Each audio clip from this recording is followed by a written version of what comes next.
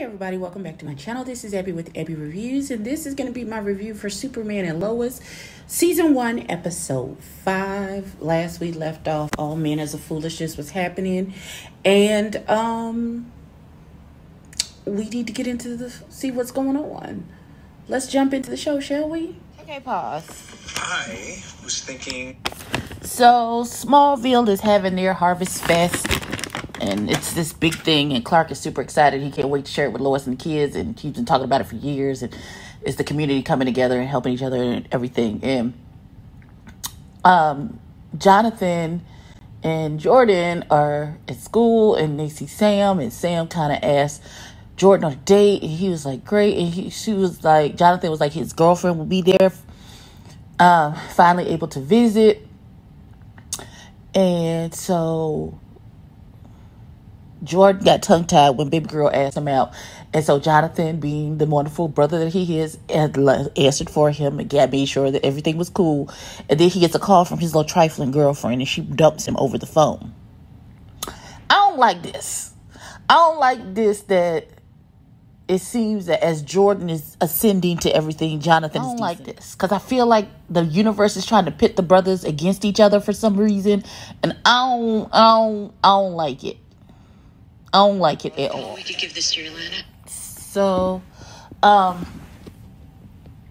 Superman is talking to Lois about cleaning out his mama's office to make room for Lois to have her own office. And she was like, You're gonna get rid of your mother's things? And he's like, That's what she would want. And you know, for you to be happy, and we'll give it away at the Harvest Fest. And she was like, Okay. And so she gets a call from Edna Mode Jr. And she's like, "Are you coming into work today? What time are you coming in?" She was like, "Why?" And she was like, "Sharon Powell is here. That's the lady that got choked out by Rage Man, and her son is with her too. And they have this cockamamie story to get bonked on the top of the head, and he don't remember making those phone calls, and he don't remember nothing about the job and write and they, now they tell her write a story about how her son was found and not about Morgan Edge. It's a setup, setup. Wait a damn minute.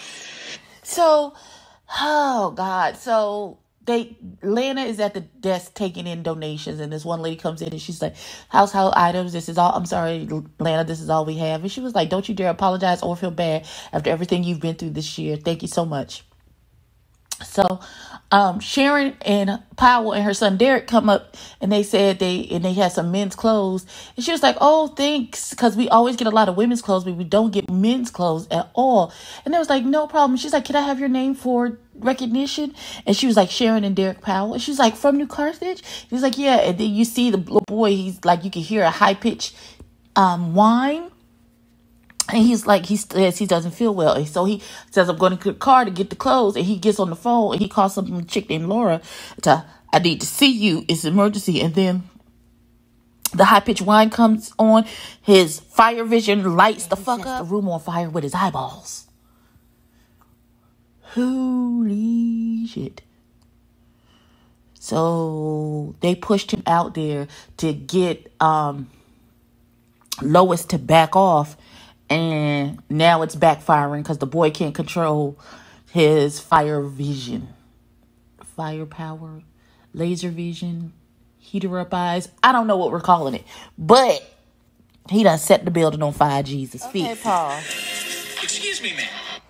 So the building is clearly on fire.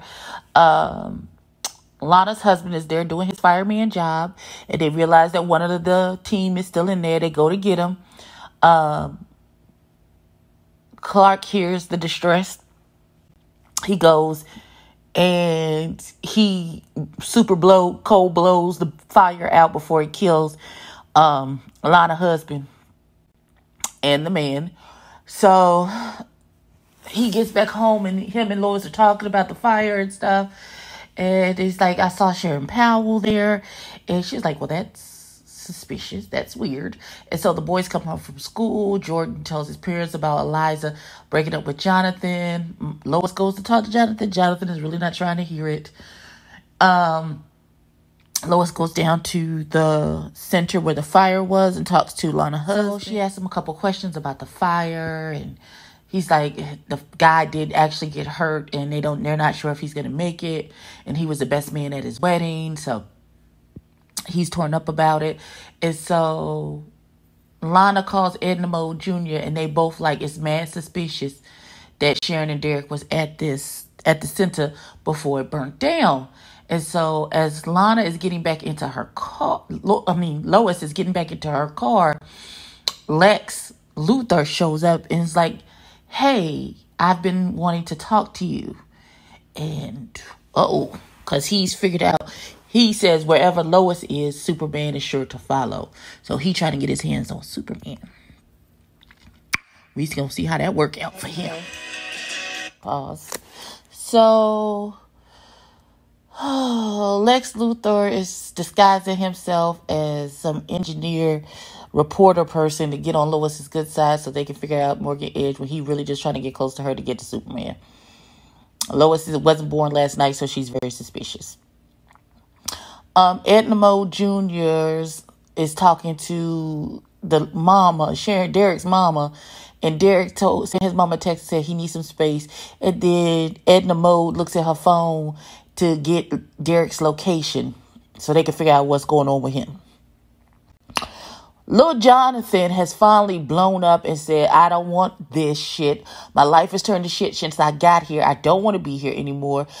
I have a friend who lives in Metropolis. Maybe I should just go back and go back to my life, which was great before I left, before we got the fuck here. And him and his brother stormed off to the husband gets home. Lana is trying to get stuff together for the rest of the Harvest Fest. She talks to her husband about the men and the lung damage may be permanent. He might not be able to come back. And she goes to give him a hug. And clearly he smells like booze. And she he was like, just give me a minute. I'm gonna take a shower. We can go to the Fest. She's like, no, I got people waiting on me. And then uh Sam interrupts her. She was like, go ahead, just take Sophie and I'll wait back here with dad, I guess. And um child, I hope she doesn't stand up John and I mean Jordan fooling around with her daddy. Because a lot of shit just happened. And the first thing that I want to say is that Superman is fine when he's in that uniform and his hair is flipped up. Child baby. He's cute with the glasses and things. But no, he's a whole snack. He's a whole snack. Okay, so the boys get to the Harvest Fest and um, this is after Jonathan has flipped out and screamed at his daddy and talked about he want to go move to Metropolis. So they get to the Harvest Fest, and two of the little douchebag friends are there from the football team, and they are drinking. And so Jonathan decides that he wants to drink, and Jordan is like, "This is not a good idea." And he's like, "I'm gonna go meet Sarah. You just be cool." And he's like, "Yeah, we'll be cool." So I'll give you all of them before we get to the other shit that went down.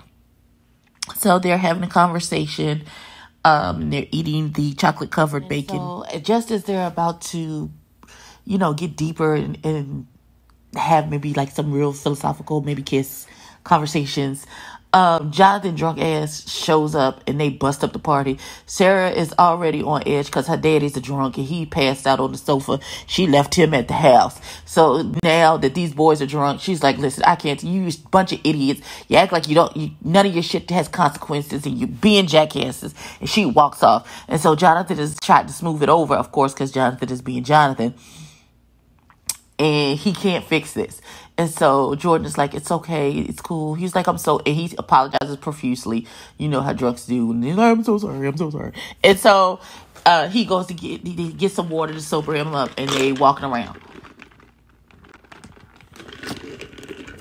And they run into their parents just as Clark was telling Lois that Jonathan said he wants to move and back so, to.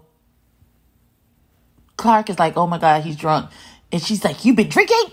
She's like, Your father can smell it. I can smell it. The whole town can smell it. Take your asses home. Get an Uber and go home. And they were like, Okay, mom. And so Edna Mode has followed the location from uh, Derek's mama's phone to where Derek meets Leslie Larr, the assistant to Morgan Edge. And they put him in like this MRI machine, but it's like heats up with fire. I guess that's supposed to fix whatever's wrong with him. And so Edna calls Lois to tell her that she sleuthed her way and she saw the machine and telling her what happened. Of course, Clark hears it and he flies over there as Superman to wreak some havoc. Now, um, Lana is pissed. Her husband been drinking and he all drunk up on the couch. Child, dramatizations ensues. Pause. Got it? So Clark gets there with Lars, Lisa, and Derek, and so Derek takes off flying, and Superman follows him, and they fight and stuff, and Lex Luthor sees where they are, and he starts to follow them with his jacked up Winnebago, and so he. I don't know what is this man's deal. Like, what is your issue, sir? What is your issue? Like, are you that blinded by what happened on your world that you can't for any second think that this is a different, a totally different person? Like, I don't, like, I don't get his vitriol. I really don't. So he takes his stupid ass with a rocket launcher and he fires at uh, Superman and the man, and it hits them and they fall to the ground. So he comes out with his gun but before he could get there, Superman is talking to Derek. So Derek says, "What did they do to you?" And they like he re- they resurrected me, and he was like, "I can help you." He's like, "No, you can't. I'm already dead." And then he like spontaneously combusts. It's like the fire power from his eyeballs takes over his whole body and burns him up. And so I guess Superman leaves, and then stupid ass Lex Luthor with a handgun. What the fuck are you gonna do with a handgun? That's my question. Stupid ass like he gonna shoot somebody and take somebody house. If you don't sit your dumb ass down somewhere. So uh, they worked it out with Jonathan. They had a conversation. They'll revisit it, uh, I guess, in a couple weeks if he still feels the same way about moving back to Metropolis. So at the Harvest Fest, there's like Morgan Edge replaced all the things that were lost in the fire. He was just trying to be generous, blah, blah, blah, blah, blah. So they do this big, we have one last uh, thing we want to show you, Clark.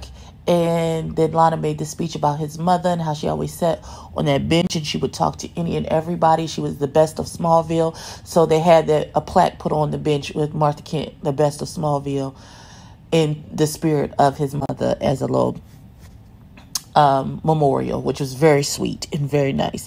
That was the bench she was sitting on when he got on the train and left to go to Metropolis and I, I guess she said on that was waiting for him to come back. I guess I don't know. That's it's very sad. So Clark was sitting on the bench and they're talking about the boys. And you know, he talked about how he was selfish and his mother let him go anyway. And she's like, That's what you do when you love your kids and you know that they need more. And it's like this boy seemed like they're growing up so fast, and he's like they were just babies yesterday. He was like, yeah, uh, you say that to someone who wasn't in 27 hours of labor with these babies. And he was like, you're right. And so they're uh, hugging and stuff, on sitting on the bench, just enjoying each other and being in love and all that good stuff. And Lex Luthor get mad. He runs to his jacked up Winnebago, and Siri is like, your blood pressure is up. This must be about Lois. And he was like, she was like, do you do know this is not your Lois? And he was like, everything about her is the same, except she married somebody else. Ooh. So the Lois in his time was his wife. Ooh. Oh no. I wonder how that he gonna be mad when he found out she. The truth. So Sarah and Jordan are having a conversation. She apologizes for ruining the date. She friend zones him. He's like, I guess we'll be friends. And they giggle, laugh, ha ha ha. So he's walking home and Tag ambushes him and say, What did you do to me? And he starts beating him. He's like, How did you do? He's like, What do you wait, wait? And he's like, he's beating him and beating him. And that's how the episode ended. Oh my god. On a cliffhanger. I can't wait for next week's episode. It's gonna be good. Oh my god. Tag was beating the bricks off of that baby. Okay, that episode was a lot. Um, it was a whole lot. Lex Luthor is not mad. Is he here for Lois? Is he here to kill Superman? I'm confused now because that he was she was his wife in another life. Oh my god. I wonder how Lois is going to take that news. I wonder how Clark is going to take that news. And does he know that Clark is Superman? Like, I have so many questions. Also, I need something good to happen for my baby Jonathan. I listen. He gives and gives and gives and just seems to be kicked in the face in return, and I don't like it. Let me know if you've watched the episode. Like, comment, and subscribe. Tell a friend to tell a kin, and I'll catch you in the next one. Peace.